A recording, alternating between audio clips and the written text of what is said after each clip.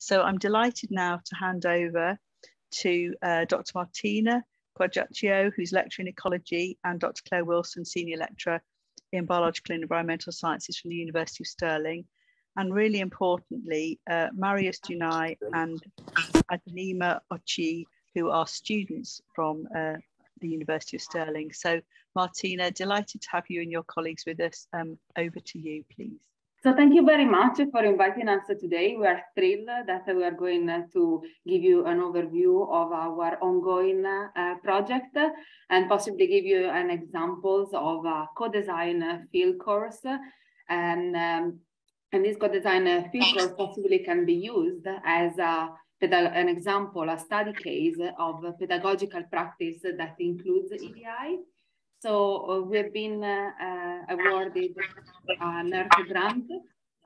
Our project has been awarded a, a NERC grant and and um, this call was called um, making environmental science equitable, diverse and inclusive. And our project focuses on EDI in the context of the fieldwork for undergraduate students. And our main objective, as the title says, is amplifying our students' voice. And how do we do that? Well, by involving students at every step of the project, while we focus on their uh, lived experience. Uh, as uh, Lisa said, I'm not the only presenter today. I'm here with um, my co-PI, Dr. Joe Clark, and two of our students, Marius Dunai and Adima Onochie. Okay, thank you for having us. As we already heard during the presentation before, uh, field skills uh, in environmental science degrees are very important. And uh, therefore, we need to make sure that field courses are accessible and inclusive uh, re reminding also uh, what uh, um, the previous speaker said for a diverse student community, because our student community is becoming more and more diverse year after years. So our project tried to answer these following questions. The first one is, what are the barriers to EDI encountered by our students in field courses? Second is, can we find solutions to address these challenges? And then what approach should we use to succeed in this? And we're going to focus this presentation especially on the approach. So we have four aims in our project and they uh, each feed onto each other. So every aim is, is like a step step forward the completion of the project and they feed into each other. So the first uh, aim is uh, trying to identify EDI barriers and solution to fieldwork. And to do so, we distributed questionnaires and organized workshop with the students and staff. Second aim is a co-produce field course with students to improve EDI, and we co-design a residential field course with the students. And then we test and verify it and further refine what we produce uh, always uh, together, taking feedback from the students. And uh, we do this uh, um, uh, using ad hoc questionnaires that we distributed to the students to evaluate the field course. The fourth aim is to disseminate the, the case study, the good practice for improving EDI and fieldwork. And this is why we're here today, exactly. So Today's presentation will focus on the co-design of the residential field course and its evaluation.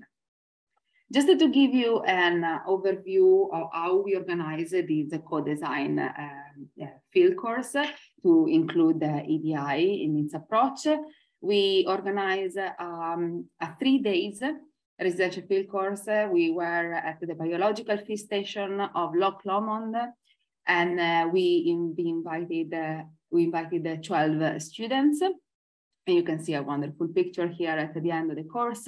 And because we had the three days, we organized uh, our field course in three different phases.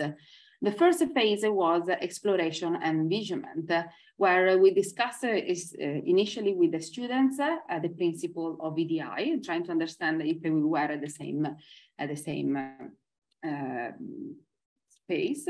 Then we had a workshop where we discuss in general the solution to uh, EDI challenges encountering residential field course.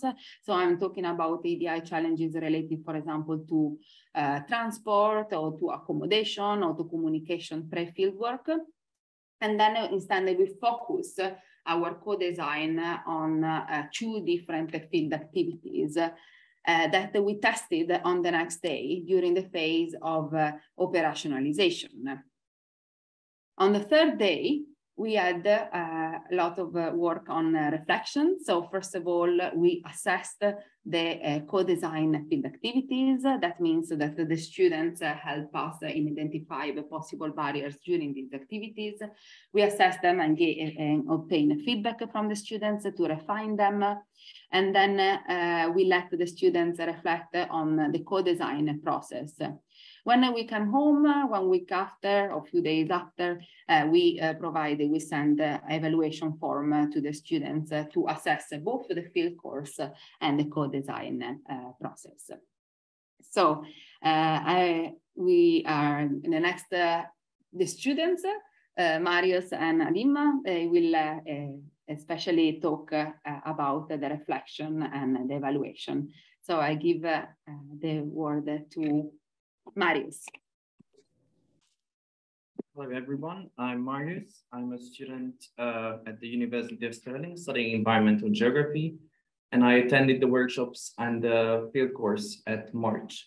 At the end of the work uh, at the field work, uh, we created a booklet as part of the reflection phase, and uh, where we could add our um, thoughts and reflective inputs in a creative way. This was a previous stage of the final workshop at the field course. In the picture, you can see one of the booklets what we created during this workshop. Um, we uh, sorted ourselves into a group of three, and then each group created one booklet. My team members, Anna, Murray, and myself, um, had our thoughts on our experience of co-design, and I thought I'm going to share these with you today. One of us wrote, it was really nice to be included in the whole process, including planning and being asked for feedback and constructive feedback. And this potentially because the communication at eye level worked really well and um, our ideas were um, really uh, taken into consideration. Finally, one of us wrote, it felt really good that the lecturers were interested in our opinions. Personally, I learned several new skills and experienced a new way of field working. Our final idea was to create a tree of EDI to represent the field course, what we attended, and its roots, uh, we thought its roots are the principles of equality, um, diversity, and inclusion. And we thought the fruits of the tree are learning outside the classroom and learning new field skills, but also empathy. And we understood and accepted each other needs. And um, finally, at the end, um, in a, such an inclusive environment, we managed to have some relaxation as well. So now I'm going to give it to my student. Adiman, now you can unmute yourself and I will uh, change the slides for, for you. Uh, my name is Adima. I was part of the 12 participants um, that attended the EDI a um, couple of weeks ago. Um, in this section, I will present some of the results from the final evaluation that we completed after the field course. This was a chance for us to reflect on how everything went. 10 out of the 12 participants completed the evaluation form. Next slide, please. The graph on the left displays the results from the statement that all students involved were able to have an equal say. On the x-axis, we have the level of agreement from strongly disagree, disagree, and slightly disagree. Neither agree nor disagree, true to slightly agree, agree and strongly agree. On the y-axis, we have the percentage of respondents all respondents were in agreement with the majority strongly agreeing with the statement. The other graph on the right displays the results from the statement that that staff and students involved in the development of field activities had equal input. The majority of the students were in agreement with one student disagreeing. We were not sure why the student disagreed. It could possibly be because of the staff were overall responsible for leading the field course. A student said, everyone was welcome to add anything. Next. On this other graph, we have same axis of, of this graph with the level of agreement on the bottom and the percentage of respondents on the y-axis. In the response to both these statements, the respondents felt that their contributions to the co-design process was valued and appreciated, and the respondents felt included and involved in the co-design workshop. All students were in agreement. Here is a quote taken from this response. I think it's incredibly valuable being able to have input to field courses and part of as part of the curriculum. It will boost enjoyment as well as student satisfaction. The figure on the other graph shows the respondents' agreements to whether they feel they were more likely to participate in similar opportunities as a result of participating in the co-design process. All students are in agreement. There was a quote taken from an anonymous student I think this is a valuable and enjoy, enjoyable experience for anyone and would strongly encourage anyone considering going on a course like this to do so. The final graph, the final, the final graph presents the overall quality of the respondents' experience on the field course. On the y-axis is the percentage of respondents. On the x-axis is the experience quality rating from one, which is low, to five, which is high. 90% of the students gave the overall quality of experience the highest possible rating of five. And one student rated it second to the highest, scoring a four. Thank you very much. Thank you very much, Adama. So in this slide, I'm going to um, present our final reflections. And so the experience of co-production um, has got multiple benefits for students and, and also for staff. And this includes for students a range of uh, skill development. So this includes communication, negotiation skills. So during the workshop, students communicated um, together and had to sort of negotiate um, the outcome for, for some of our field activities. They also developed uh, intellectual skills. They learned um, new knowledge about uh, uh, EDI and how to apply apply it in, in, in different situations, um, remove barriers in different situations. They also developed um, appraisal and critical critical skills, where they had to critique our sort of um, methods for the fieldwork and suggest new uh, processes for, for how we would run our practicals. Um, they also developed practical skills because we were out in the field uh, running these field courses, so they learned how to um, collect and identify invertebrates um, in the fresh water. They also developed professional skills um, so, um, such as developing behaviours and how to support EDI, which will be important for their future careers. Other benefits that have also been mentioned is that uh, students stated that their, their well-being improved. They had the opportunity to enjoy the surrounding environment, um, feeling comfortable with each other, uh, improved relaxation. They also developed a sense of community, uh, shared empathy, um, and an overall sense of, of, satisfaction from the work that they did. A, a challenge that came up um, was identifying boundaries. Um, so establishing clear boundaries at the start uh, would be um, important if we were to, to run this again. Uh, so students said they think that um, it's good to have someone in a position to make things clear and specify the rules or the do's and the don'ts. Uh, I think because students were uh, having an input into the running of the field course, they weren't quite sure where that, that boundary um, lay, where they could input and where they couldn't. Just um, a minute or so left. Um, sorry, thank you. Problem. And um, defining this is timing and flexibility. So this can be quite um, a challenge for a field course where often we are trying to include as many activities as we as we possibly can within um, a short time frame, but to embed co-production into field courses, we do have to be flexible and account for that uh, potential additional timing. And so I'll leave you with this uh, final question and thought. Could co-production be a, a win-win solution for staff and students? Um, thank you for your attention and any questions. Many thanks for that really inspirational example. So we have uh, one question. Uh, these are such valuable skills generated for students um, and empathy towards ED&I issues. Would this be replicated across all field trips or might you do it as a scaled down version across your university? Have you thought how you might um, amplify the sort of significance of your work across your institution? Yeah, so I think so. This is part of a project, so was uh, uh, one off and uh, was uh, a three days work with the students.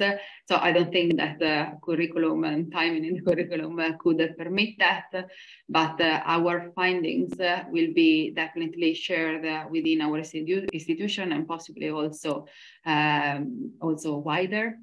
And uh, the idea is to share a sort of toolkit of what to do to make a field course, a residential field course, more inclusive. Uh, that um, can take into consideration all the students' requirements and needs. That can start, for example, with um, a questionnaire in being customized to, to the students' needs. And I hope that I answered the question. Thank you.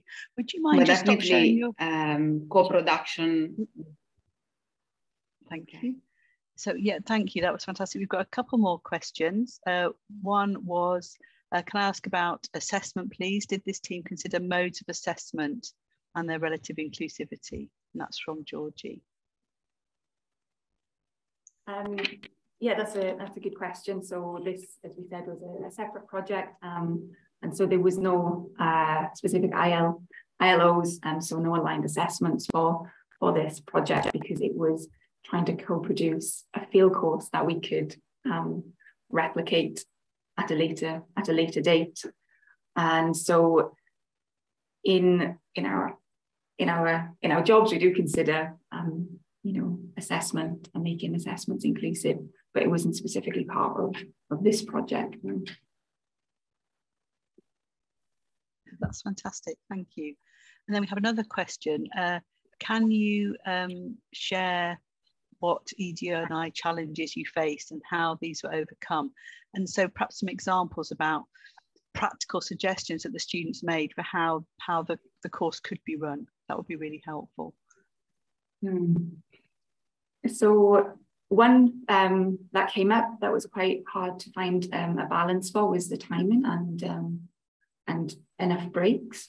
So there were students uh, um, who sort of had um, um, challenges with, with, with learning and, and, and, concentration, and so were quite preferred to have a greater number of breaks.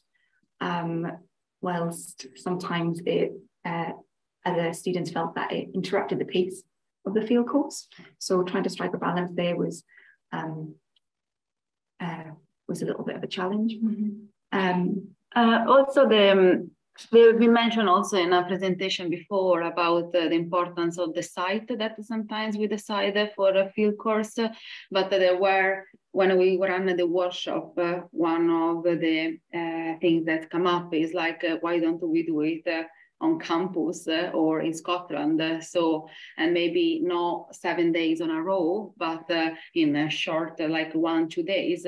So students can access them more easily is uh, less uh, there are less financial constraints uh, and also for example a lot of students they work and it's difficult to find um, you know to ask for time off so if he's in the country with a shorter time, definitely they can have, uh, you know, we make uh, field skills and field activities more inclusive in that sense as well. That's fantastic. Thank you. I think we've got time for one very quick one. Um, is um, that somebody said, it's Alison, I think, I love the idea of co-producing fieldwork with students. If this were to be scaled up, because I know this is a project, if this were to be scaled up, do you envisage that all students in the cohort would be involved or If not, how would you go about identifying which students to participate in the co-production? Um, that, yeah, that's a that's another good question. Um, I think because we have such a range of, of students and I, I wouldn't want to, to sort of narrow the input, uh, it would be great to, to open it to, to everyone. Though we can understand that um, different students have different um, time commitments. Uh, and so maybe the opportunity for everyone to, to input, but maybe if we were running workshops and everyone couldn't attend, uh, they could feed in some other some other way, like maybe running them online um, instead. Fantastic. Yeah. Yeah, I think I think that maybe also uh, if you make the attendance of a, a co-production uh, session to all the students uh, through across years, at least once across year would be, you know, would be great. So they can learn all these skills that uh, Joe was talking about in the in the last slide. We we didn't realize how how useful could be to students uh, working together with us uh, to gain uh, a range of skills that actually are very good for employability and, and other reasons. Fantastic. Well, thank you again so much for your presentation and to all of the team and uh, for answering the questions uh, so fully.